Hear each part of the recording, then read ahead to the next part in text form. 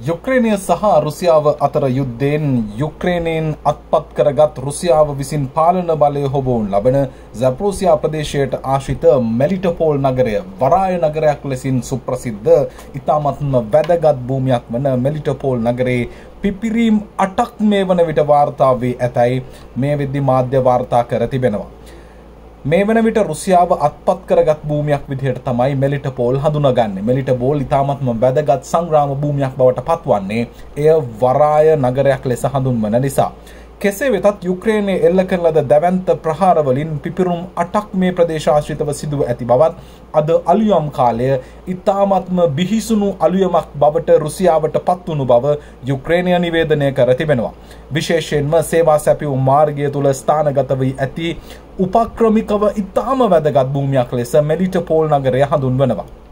ඒ වගේම මෙලිටපෝල් නගරයේ සිදුවුණු පිපිරීම් අටට අමතරව නගරයට උතුරු දෙසින් වන්නට තවත් පිපිරුම් මාලාවක හඬ ඇසුණු බවට යුක්‍රේන මාධ්‍ය මේ වන විට වාර්තා කර තිබෙනවා. කෙසේ වෙතත් යුක්‍රේනය සහ රුසියාව අතර යුද්ධයේ සැප්‍රෝසියා කලාපය ආශ්‍රිතව දැවන්ත බරතැබීමක් සහිතව මේ වන විටත් යුක්‍රේනය ප්‍රහාර එල්ල කරමින් පවතිනවා.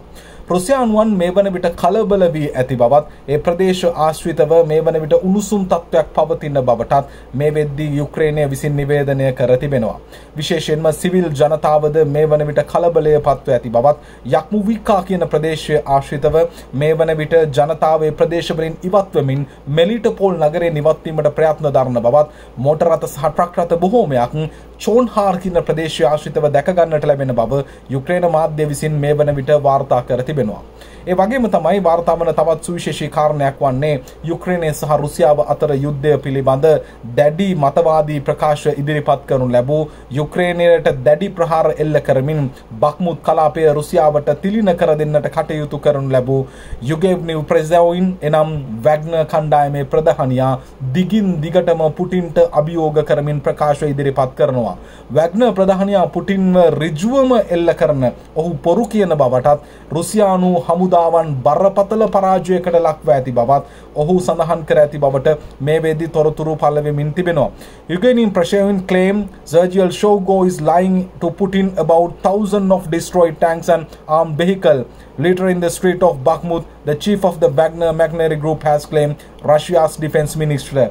රුසියානු ආරක්ෂක අමාත්‍ය සර්ජිල් ෂෝගෝ මේ වෙද්දී රුසියානු ජනාධිපතිට බොරු කියනවා.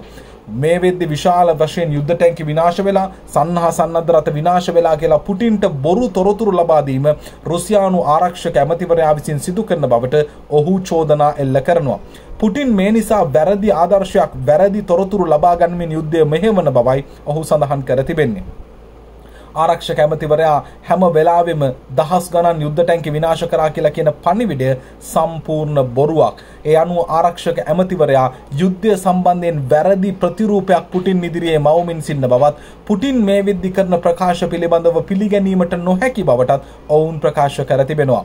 කිව්වල තිබෙන්නා වූ කවුන්ට් ඔෆෙන්සිව් එක අසාර්ථකයි. එහෙමත් නැතිනම් යුක්‍රේන ප්‍රහාර මාරාව අසාර්ථකයි කියලා රුසියානු ජනාධිපතිවරයා කරන ප්‍රකාශයටත් ඔහු අභියෝගයක් කරනවා. ඉතින් මේ වෙන විට යුක්‍රේනය සහ රුසියාව අතර යුද්ධය තුළ ප්‍රමුඛ කාර්යභාරයක් ඉටු කරන ලද වැග්න කණ්ඩායමේ ප්‍රධානියා මේ ආකාරයෙන් රුසියාවම විවේචනය කිරීම බරපතල ප්‍රශ්නයක් වනවා. මේ වෙද්දි චෙච්නියානු නායකයා පුටින්ට වඩාත් හිතවත් වෙමින් චෙච්නියානු නායකයා වැග්න කණ්ඩායම අත්පත් කරගෙන තිබූ භූමිකාව මේ වෙද්දී රුසියානු යුක්‍රේන යුද්ධයේදී ක්‍රියාත්මක කරමින් සිටින බවටයි තොරතුරු වාර්තා වෙන්නේ. මේ අතරතුරේ රුසියාව අත්පත් කරගෙන තිබෙන සැප්රුසියා භූමිය ස්ථානගතව පවතින යුරෝපයේ විශාලතම න්‍යෂ්ටික බලාගාරය වන සැබ්‍රෝසියා න්‍යෂ්ටික බලාගාරය සම්බන්ධයෙන් රුසියානු න්‍යෂ්ටික ඒජන්සියේ ප්‍රධානයා විසින් ඇලෙක්ෂන්ඩර් ලික්කාචය විසින් මේ වෙද්දී ජාත්‍යන්තර න්‍යෂ්ටික බලාධිකාරයට යම් ඉල්ලීමක් කර තිබෙනවා. වහාම ස්ථාවර වැඩපිළිවෙලක් අනුගමනය කරන්න.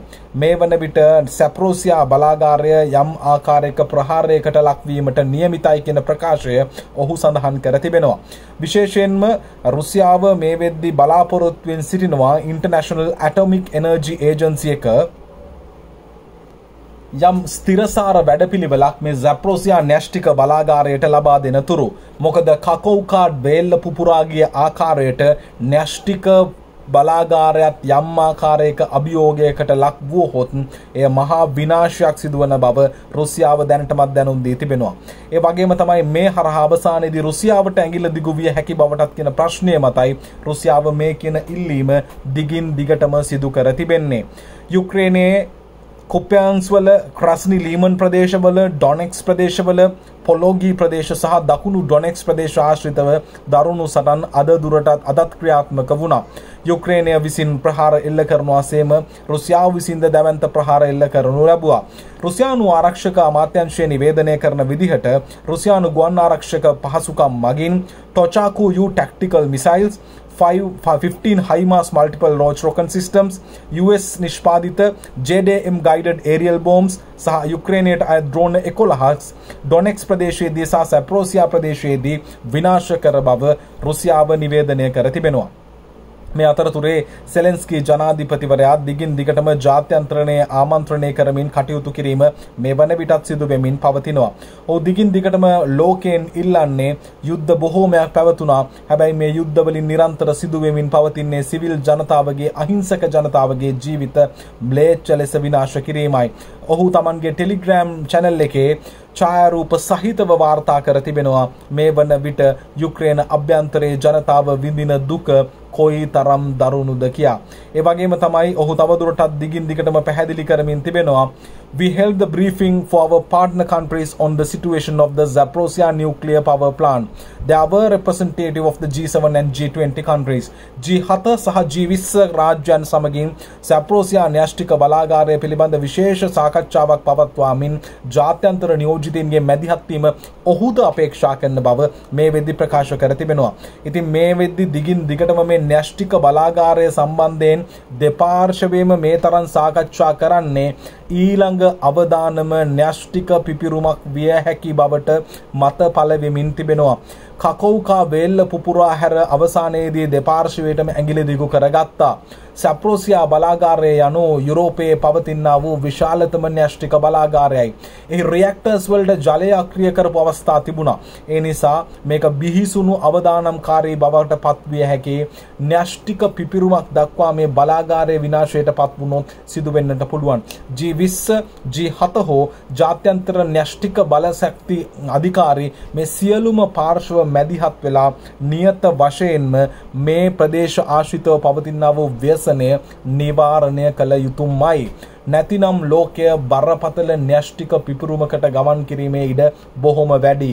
බලාගාරය පුපුරාගියොත් එයින් වන බලපෑම කියා නිම කළ නොහැකි. ඒ නිසා ලෝකයම එකතු වී සැප්‍රෝසියා කලාපය ආශ්‍රිත මේ යුද ගැටුම්වලට වහා පිළිසරණක් ලබා දීම අනිවාර්යෙන් විය යුතුයි.